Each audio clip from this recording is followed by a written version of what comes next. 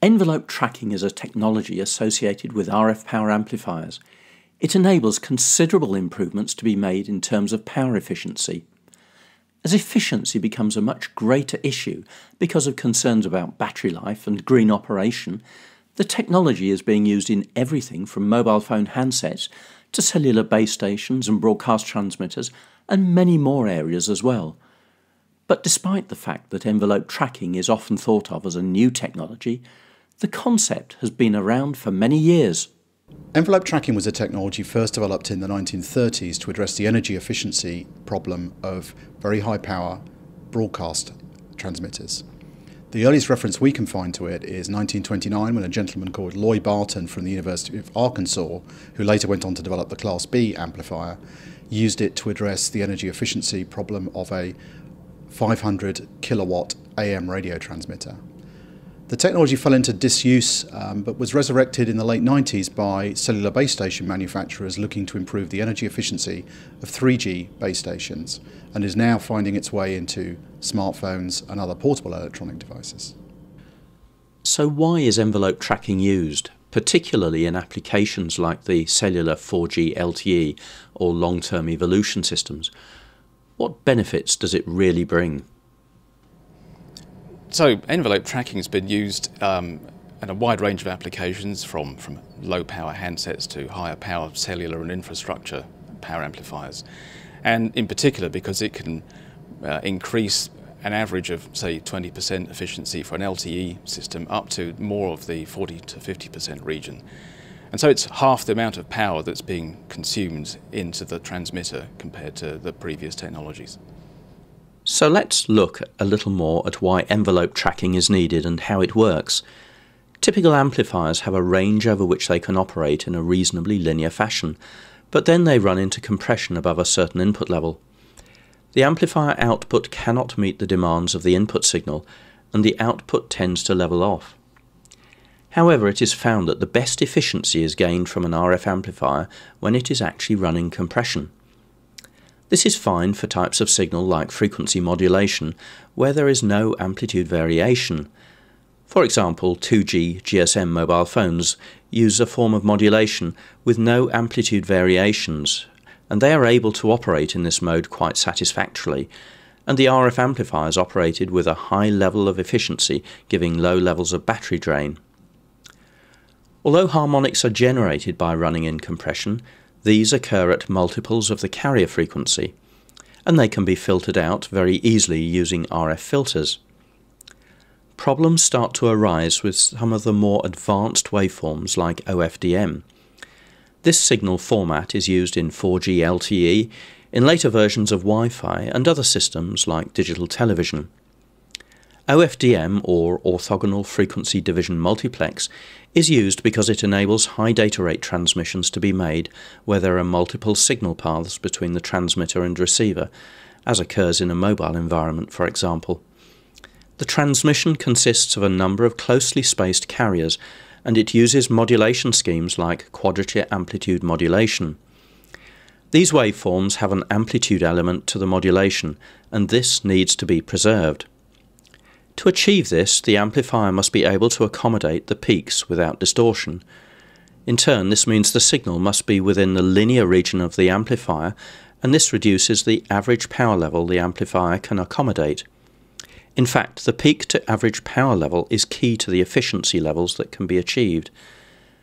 As an example, we have seen the peak to average power ratio increase significantly as mobile phone systems have migrated from the basic 3G UMTS through HSPA to 4G LTE. The problem with high peak to average power ratio waveforms is that the RF amplifier has to be provided with the power to accommodate the peaks, and only use this capability for short periods when the peaks are there. The rest of the time, this power is dissipated as heat, which means the amplifier runs at a low efficiency level. Would it not be better if the amplifier was given the right voltage to handle the amplitude of the waveform at any given point? In this way, envelope tracking is effectively a power supply technology, one in which the power supply is able to provide exactly what the power amplifier needs rather than what the power supply wants to provide. So how do we achieve this? Let's look at the block diagram of a typical transmitter system. Here we see the RF generator feeding a preamplifier which then drives the final amplifier. In turn the RF amplifier obtains its power from a fixed voltage supply which these days is usually a switch mode power supply to ensure the best efficiency.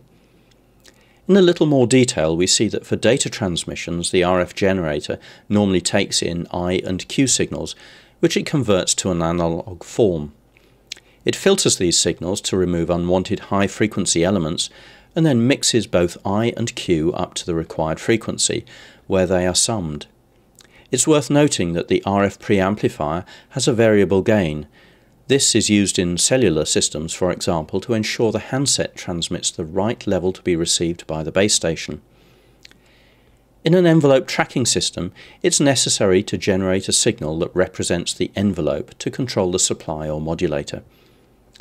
The chain consists of several circuit blocks. The first block generates the basic signal. This is created by taking the square root of the sum of the squares of the I and Q signals. Next is the preamplifier gain matching. This is used to accommodate any RF preamplifier gain changes that may occur. Following on from this is the envelope shaping. This is the key circuit block and it is needed because there is not a linear relationship between the optimum amplifier supply voltage and the power output needed. But more of this later. The post-envelope gain and offset is used to accommodate any offsets and match the gain of the system to achieve the right levels to control the supply. Finally, the digital signal is converted into an analog format and it's applied to the control terminal. So to see how the right shape is achieved for the control waveform, we need to look at the RF amplifier performance – here are curves for different voltages and it can be seen that there's a maximum efficiency point for any given supply voltage.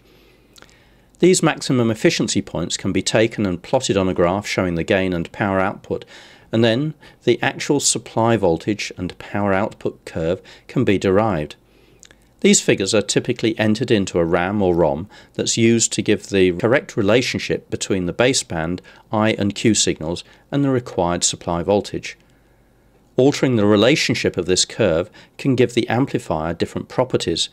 For example, a constant gain curve may be needed rather than the maximum efficiency, and this gives a lookup table curve that follows a different contour. So what about the envelope tracking power supply? This has some key requirements. First, it must have a very wide bandwidth. It must be able to track the RF envelope. Typically the bandwidth of the supply should be around 2 to 3 times the bandwidth of the modulation. This means that a 4G LTE system can require a bandwidth of around 50 MHz. The supply must have a very low noise output.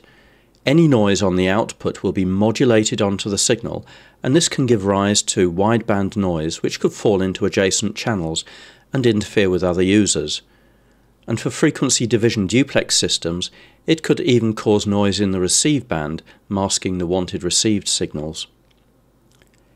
It must have a high efficiency, otherwise the gains of using envelope tracking will be lost. And the supply must have a low source impedance, and it cannot allow capacitors on the output, otherwise the high bandwidth will be compromised. Another key aspect of the performance of envelope tracking systems is the alignment between the control signal and the RF envelope. Good tracking alignment will mean that the control signal and the RF envelope are synchronized. Poor tracking will mean that the peak of the RF envelope will not occur at the same time as the supply voltage peaks. This occurs primarily as a result of delays in the filters in the two signal paths. To ensure that the two signals align properly, a delay balancer is introduced where the two signal paths are split. This is optimized to ensure the delays in each path match and the two signals are fully synchronized. So how does envelope tracking work in practice? Let's have a look at a system being tested in the laboratory.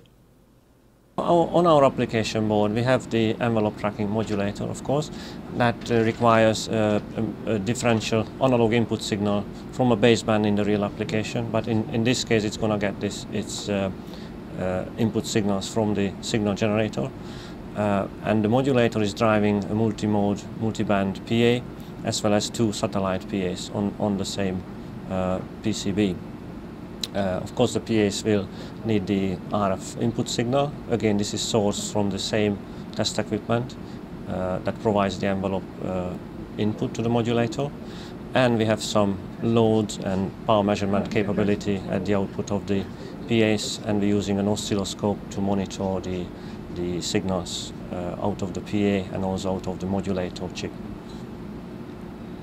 So right now we're looking at the test equipment that generates the signals for the modulator and also the RF signal.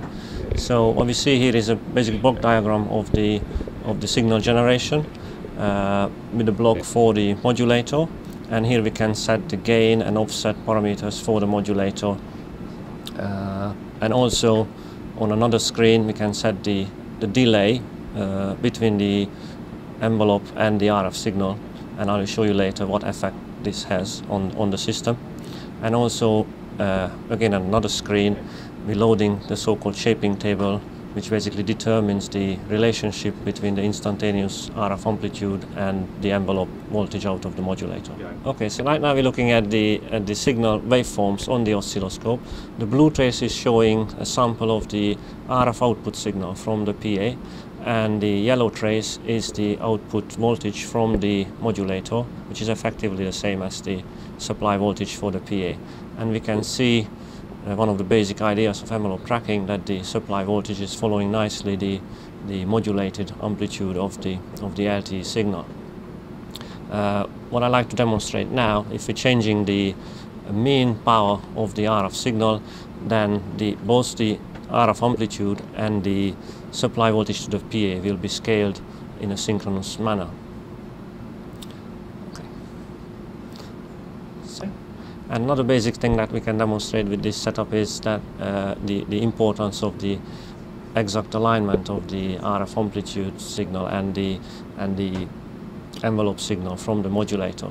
So what I will do now is, is alter slightly the, the relationship in time between those two signals and what, what we can see on the oscilloscope is that the that they, there's basically get these two signals get misaligned and now if we look at the spectrum analyzer we can see the effect of that misalignment on the spectrum uh, which is basically a much uh, worse ACLR, much worse uh, linearity. So are envelope tracking systems only used to improve efficiency? Apart from the improvements in efficiency, we've also seen other benefits through using ET. RF performance is improved through increasing transmit power for a given PA size, a better performance into a load mismatch, and also the ability to linearize the PA through a software-defined shaping table. So in summary, envelope tracking is a power supply technology. It matches the supply voltage for the RF amplifier to what it needs so that it can provide the output power at any given instant. It improves efficiency, reducing running costs and increasing battery life. It's used in many applications and increasingly in smartphones where efficiency and battery life are of great importance.